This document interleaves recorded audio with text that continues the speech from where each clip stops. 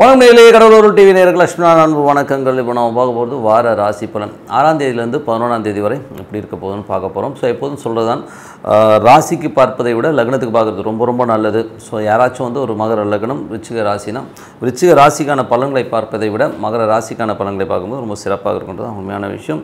மற்றபடி வந்து பார்த்திங்கன்னா நீங்கள் வந்து உங்களுடைய தசா புத்தி அந்தரங்கள் ஜாதக ரீதியாக என்ன இருக்குன்றதை பார்த்துட்டிங்கன்னா அதை வச்சு வந்து நீங்கள் வந்து மேட்ச் பண்ணி பார்க்கும்போது ரொம்ப பர்ஃபெக்டாக இருக்குன்றது தான். உண்மையான விஷயம். ஸோ அந்த மாதிரி பார்க்கும்போது ரொம்ப பர்ஃபெக்டாக இருக்கும். ஓகேங்களா ஸோ மற்றபடி இந்த வீடியோட எண்டில் டிப் ஆஃப் த வீக் இருக்குது மறக்காமல் பாருங்கள் ரிஷபராசி. ஸோ ரிஷபராசிக்கு வந்து எப்படி இருக்கும் அப்படின்னு பார்க்கும்போது உங்களது ராசி அதிபதி ஸோ உங்களது ராசி அதிபதி சுக்கரன் வந்து ஒன்று ஆறாம் அதிபதி. ஸோ ஒன்று ஆறு மற்றும் ஒன்பதில் இருக்கின்ற ஒரு காலகட்டங்களில் வந்து பார்த்திங்கன்னா நிறைய வேலை விஷயங்கள் வந்து நிறைய மாற்றங்கள் கொஞ்சம் வெளியூர் பிரயாணங்கள் ஏற்படுவதற்கான வாய்ப்புகளும் நிறைய இருக்குது ஸோ மற்றபடி ரியல் எஸ்டேட் துறையில் இருக்கிறவங்களும் நல்ல ஒரு சொத்துக்கள் அமைவதற்கான வாய்ப்புகள் ரியல் எஸ்டேட் துறையில் நல்ல வளர்ச்சி கிடைப்பதற்கான வாய்ப்புலாம் இருக்குது ஸோ அதிலுமே ரொம்ப நல்லாயிருக்கும் நிறைய பிரயாணங்கள் அதாவது தந்த தாயார் வந்து வெளியூரில் இருந்தாங்கன்னா அவங்கள போய் பார்க்குறது சொத்துக்கள் வெளியூர் சொத்துக்களை போய் பார்க்குறது இந்த மாதிரி விஷயங்கள் நிறைய நடக்கும்.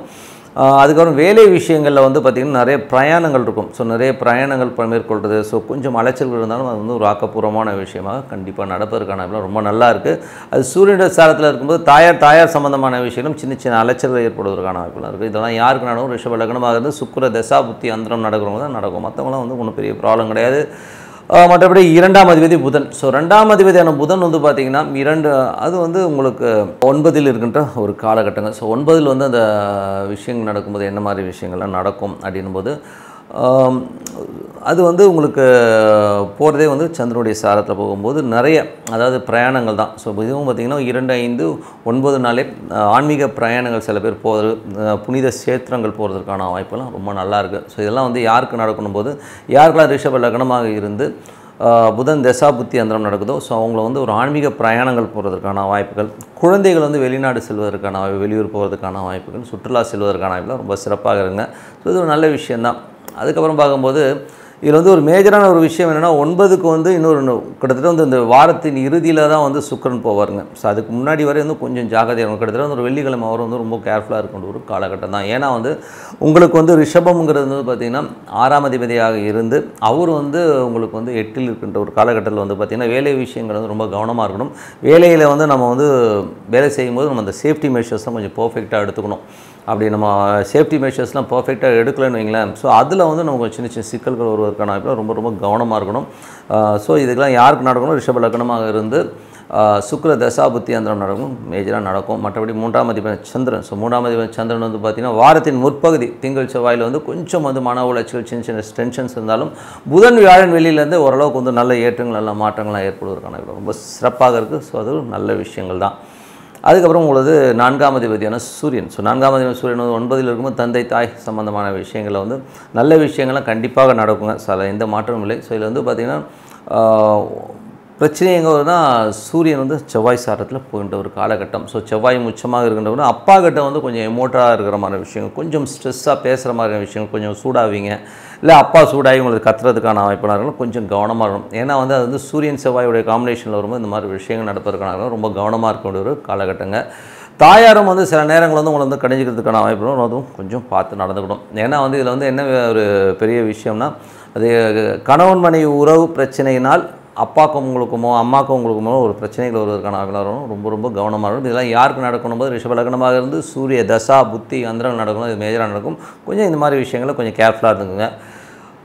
அதுக்கப்புறம் உங்களது ஐந்தாம் அதிபதி. ஐந்தாம் அதிபதி புதன். ஸோ ஐந்தாம் அதிபதி புதன் வந்து பார்த்திங்கன்னா அதுவும் வந்து ஒன்பதில் இருக்கின்ற ஒரு காலகட்டங்கள். ஸோ எந்த மாதிரி இருக்கும் அப்படின்னும்போது ஒன்பதுங்கிறது நல்ல இடம் தாங்க. அதுவும் வந்து பார்த்திங்கன்னா உங்களுக்கு வந்து இப்போ சந்திரனுடைய சாரத்தில் போதுங்க. ஸோ சந்திரனுடைய சாரம் போது ஐந்து ஒன்பது மூன்று ஒன்பது நல்ல ஒரு சுற்றுலா பிரயாணங்கள் மேற்கொள்வதற்கான சிறு தூர பிரயாணங்கள் செல்வதற்கான வாய்ப்புலாம் ரொம்ப சிறப்பாக இருக்குது. ஸோ பிரயாணங்கள் போனாலும் அது வந்து ஒரு நல்ல ஒரு சந்தோஷமாக ஒரு ஆன்மீக பிரயாணமாக இருப்பதற்கான வாய்ப்புலாம் ரொம்ப சிறப்பாக இருக்குது. ஸோ அது நல்ல விஷயம் தாங்க அதுக்கப்புறம் பார்க்கும்போது உங்களது குழந்தைகளுடைய விஷயங்களும் ரொம்ப சிறப்பாக இருக்கும். குழந்தைகள் வந்து ஒரு அடுத்த லெவலுக்கு முன்னேறுவதற்கான வாய்ப்புலாம் ரொம்ப நல்லா இருக்குங்க. ஆறாம் அதிபதியான சுக்கரன். ஸோ ஆறாம் அதிபதியான சுக்கரன் வந்து எட்டில் அதுவும் சூரியனுடைய சாரத்தில் போகிட்ட ஒரு காலகட்டத்தில் வந்து பார்த்தீங்கன்னா ரொம்ப கவனமாக இருக்கணும். வண்டி வாகனங்கள் வியாபாரம் பண்ணுறவங்களாம் வந்து இந்த வாரத்தில் வியா வெள்ளிக்கிழமை வரை ரொம்ப ரொம்ப கவனமாக இருக்கணும்.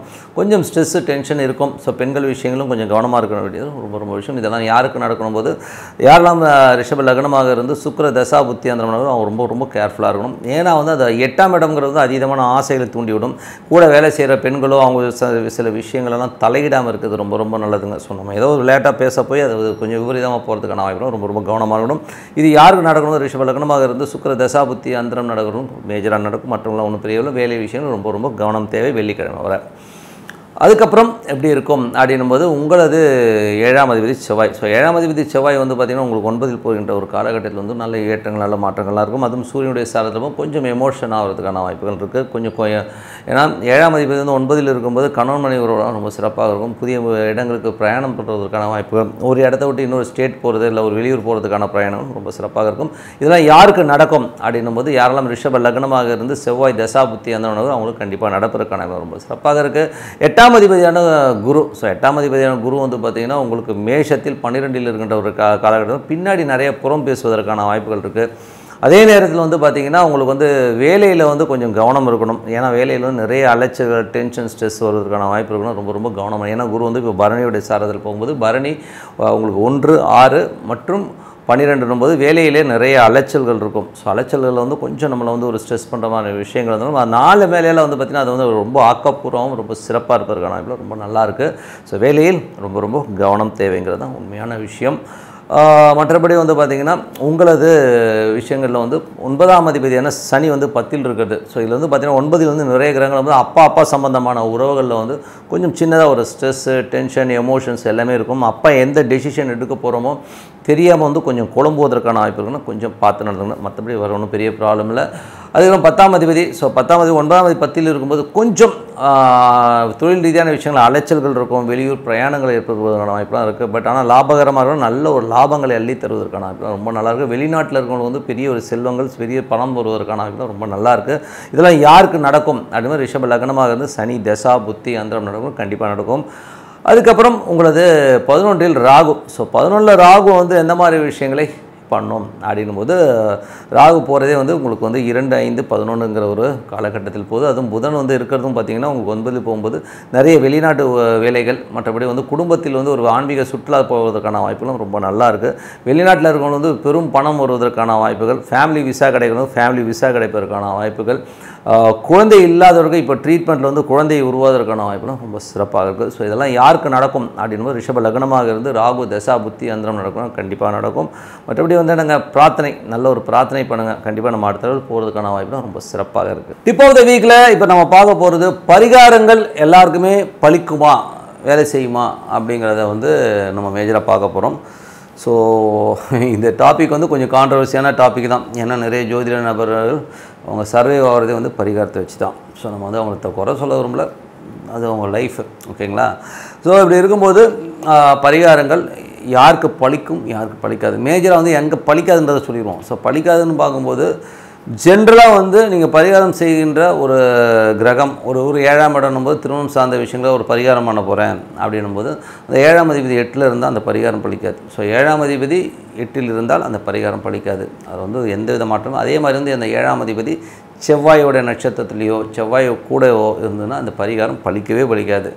ஸோ அதனால் வந்து அது ஒரு விஷயம். அது மட்டும் இல்லாமல் உங்களோட ஜாதகத்தில் ஜனனகால ஜாதகத்தில் வந்து எட்டாம் அதிபதியோட தொடர்போ எட்டாம் அதிபதியோடைய நட்சத்திரத்துலேயோ வந்து ஒரு கிரகம் இருந்து அதுக்கு நீங்கள் பரிகாரம் பண்ணிங்கன்னா அந்த பரிகாரம் பழிக்கவே பழிக்காது அதில் வந்து என்ன ஆகும்னா இன்னும் கான்ட்ரவர்சி வந்து அதிகப்படுத்தி விட்ருன்றது தான் உண்மையான விஷயம். ஸோ நிறைய பேர் வந்து பரிகாரம் பண்ணும்போது ஒரு லிஸ்ட்டு போட்டு ஒரு ப்ரொவிஷன் கடையில் போயிட்டு ம தோரம்பூர் போகிறீங்களோ உளுத்தப்பூர் உளுத்தம்பருப்பு லிஸ்ட்டு போடுற மாதிரி போட்டுருவாங்க. பட்டு அவங்க இந்த ஒரு விஷயத்தை கவனிக்க மறந்துடுவாங்கன்றது தான் ரொம்ப கொடுமையான விஷயம். ஸோ நீங்கள் வேணால் பாருங்கள் நிறைய பேர் வந்து பிரயாணங்கள் பண்ணுவாங்க. அந்த பிரயாணங்களில் வந்து பார்த்திங்கன்னா பரிகாரம் பண்ணிட்டு வரும்போது ஆக்சிடென்ட் ஆகிறது ஏடா மாட்டிக்கிறது இதெல்லாமே வந்து எதனால் நடக்குதுன்னா ஒன்று இவங்க பரிகாரம் பண்ணுற அந்த நாள் இவங்களுடைய அஷ்டமாதிபதியுடைய நட்சத்திரமோ இல்லை செவ்வாயோடைய காலபுருஷன் எட்டாம் அதிபதியான செவ்வாயோட நட்சத்திரத்துலேயே இருக்கும்போது உங்களுக்கு வந்து அந்த பரிகாரம் பழிக்காது. அது ரொம்ப நெகட்டிவிட்டியான ஒரு விஷயத்தை தேவையில்லாத ஒன்றை பண்ணி நம்மளே விலைக்கு வாங்கிக்கிற மாதிரி விஷயங்களை ஏற்படுத்துங்கிறது தான் உண்மையான விஷயம். அதனால் வந்து பரிகாரம் பண்ணுறதுக்கு முன்னாடி உங்களது எட்டாம் அதிபதி அஷ்டமாதிபதி உடைய நட்சத்திரங்கள் வர அன்னைக்கு பரிகாரம் பண்ணாமல் இருக்கிறது ரொம்ப நல்லது. அதே மாதிரி வந்து பார்த்திங்கன்னா உங்களது வந்து அஷ்டமாதிபதி கூடி உங்களுடைய பரிகாரங்கள் பண்ணுற கிரகம் இருந்ததுன்னா அதுக்கும் வந்து பண்ணாமல் இருக்கிறது ரொம்ப நல்லது. ஏன்னா அது வந்து வேலை செய்யாதுங்கிறது தான் உண்மை. அதோடு சேர்ந்து செவ்வாய்ங்கிற ஒரு கிரகம் உங்களுக்கு வந்து பரிகாரத்துக்கு உகந்து வரவே வராது. ஏன்னா வந்து காலபுருஷனுக்கு எட்டாம் அதிபதியாக வந்து அது வந்து செவ்வாயோட கூடி இருக்கிற ஒரு கிரகத்துக்காக நீங்கள் வந்து பரிகாரம் பண்ணிங்கன்னா இந்த செவ்வாயோட நட்சத்திரத்தில் இருக்கிற ஒரு கிரகத்துக்கு நீங்கள் பரிகாரம் பண்ணிங்கன்னா அந்த பரிகாரம் பலிக்காது அப்படிங்கிறது தான் உண்மையான விஷயம். ஸோ இது வந்து நீங்கள் மைண்டில் வச்சுக்கோங்க. யாராச்சும் சொன்னாங்கன்னா கூட ஒரு ஒன்று ரெண்டு மூணு பேர்கிட்ட கொஞ்சம் விசாரித்து பரிகாரம் பண்ணுறது ரொம்ப ரொம்ப நல்லது. ஏதோ அவர் சொல்லிட்டாரு அவர் இவரு இவருன்னு சொல்லிட்டு நீங்கள் விட்டுட்டீங்கன்னா நாளைக்கு வந்து பிரச்சனை நமக்கு தான் ஸோ அதனால் வந்து தயவு செய்து வந்து பரிகாரம் பண்ணுறதுக்கு முன்னாடி ஒன்றுக்கு ரெண்டு முறை பார்த்து அதுக்கான பரிகாரம் ஏன்னா வந்து இப்போலாம் வந்து பரிகார ரேட்டில் வந்து இருபதாயிரம் முப்பதாயிரம் வாங்கிட்டு இருக்காங்க. ஸோ நமக்கு வந்து அதில் பெரிய உடன்பாடு இல்லை. அதனால் பரிகாரம் பண்ணுறதுக்கு முன்னாடி இதை பண்ணுங்கள் ஏன்னா அது காசு கொடுத்து பண்ணதுக்கப்புறம் இது பண்ணிட்டு வரும்போதே நிறைய பிரச்சனைகள் நிறைய பேர் சந்திக்கிறாங்க. அதனால் அதை மைண்டில் வச்சுக்கிட்டு பண்ணுறது ரொம்ப ரொம்ப நல்லதுன்னு சொல்லிட்டு உங்களிடம் விடைபெறுவது உங்கள் லக்ஷ்மி நாராயணன். நன்றி வணக்கம்.